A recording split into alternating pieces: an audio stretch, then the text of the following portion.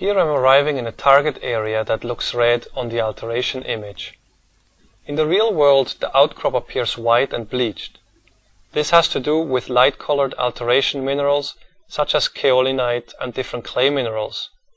They replace the original rock. The red stains in between contain iron oxides. If we look at the outcrop in detail, we can still recognize the original volcanic texture preserved in the rocks, where large phenocrysts are surrounded by a fine-grained volcanic matrix. In order to identify similarly looking alteration minerals, I take some representative spectral measurements of the area. For that purpose, I will use the ASD's optic fiber. The fiber optic cable in black is mounted in a pistol grip to facilitate the pointing.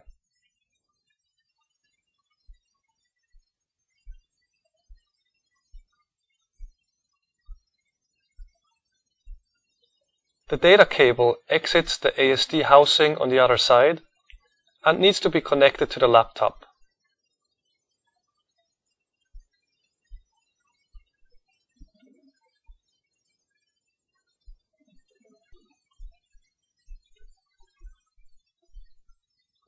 Before measuring the solar energy reflected from the rocks, I need to measure a reference panel. A reference panel is made from materials that reflect almost 100% of all incoming sunlight. Its reflective behavior is well understood and we can use the reference measurement to correct for variations in strength of sunlight and for some atmospheric effects.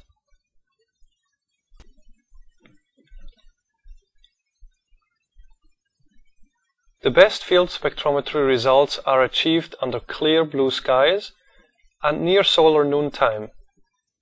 At low sun angles or under hazy conditions, the reference panel has to be remeasured much more frequently. Under partly cloudy skies, light conditions change too quickly and often make decent spectroscopy based on reflected sunlight impossible.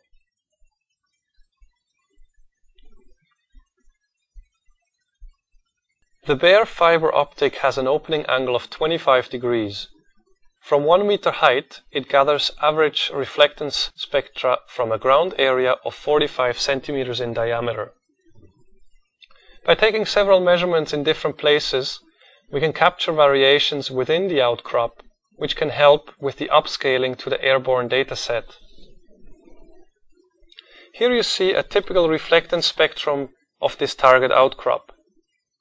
Three distinct absorption features in the shortwave infrared tell us that the main spectrally active mineral is alunite. The white trough at 0.9 micron is caused by iron oxides. Three regions of the spectrum are extremely noisy due to atmospheric absorption, mainly water vapor. Measuring reflected sunlight in these regions is not possible. We can also measure reflectance spectra of other materials surrounding the outcrop, such as soil, grass, twigs, or man-made materials like road surfaces. Having this extra information helps to understand image pixels that are not pure rock outcrops, but mixtures of several materials.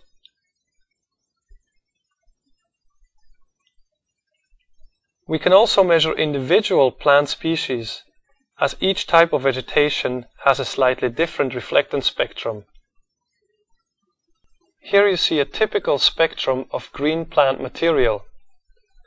Strong absorption of chlorophyll is visible in the wavelengths shorter than 0.7 micron, followed by a strong increase in reflectance values towards the near infrared, called the red edge.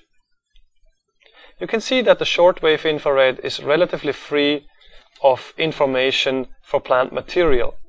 And again, atmospheric features block the three bands in the spectrum we had seen earlier. Another way of measuring rock samples is by using the ASD's contact probe.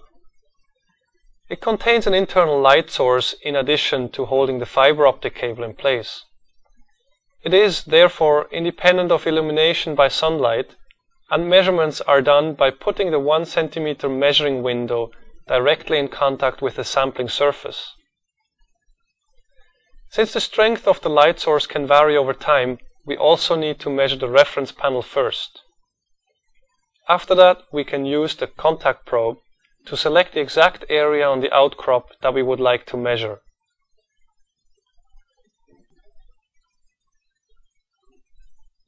The reflectance spectrum taken with the contact probe contains the same shortwave infrared features of the mineral alunite that we have seen before. The spectrum is very clean and free of atmospheric features and has a higher signal to noise ratio as compared to measurements of reflected sunlight.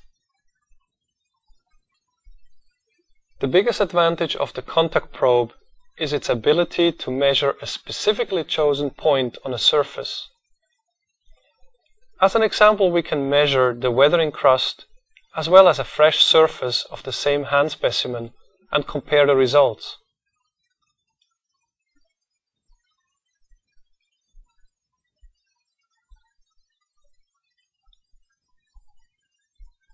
It is often important to keep and take back some sample material for further petrographic and geochemical analyses, such as X-ray diffraction, X-ray fluorescence, or microprobe analyses.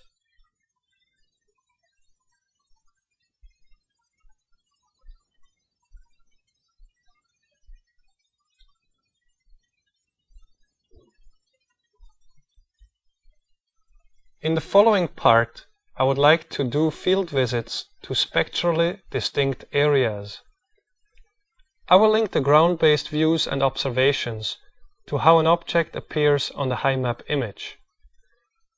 For that purpose, you will see the object's position and spectral behavior on this overview map. The top map shows the HyMap scene in a near-infrared false color composite, where vegetation appears red, water appears dark blue or black, and iron-rich rocks appear in shades of yellowish green. The bottom map shows the alteration color composite that we discussed earlier. Alunite appears purple, kaolinite red, illite in yellowish green tones, and unaltered rocks in blue.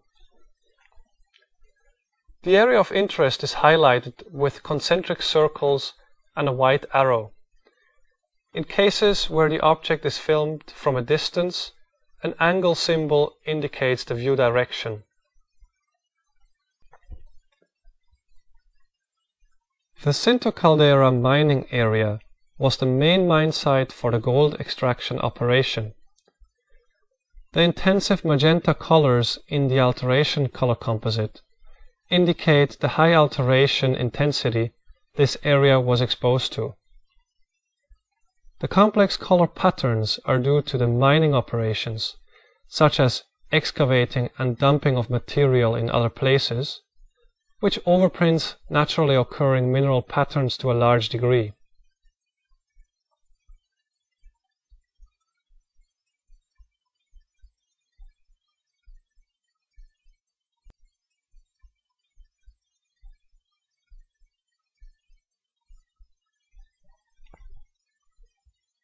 Excavation style was a combination of open cast mine with underground adits and shafts following the silica veins with the highest gold concentration.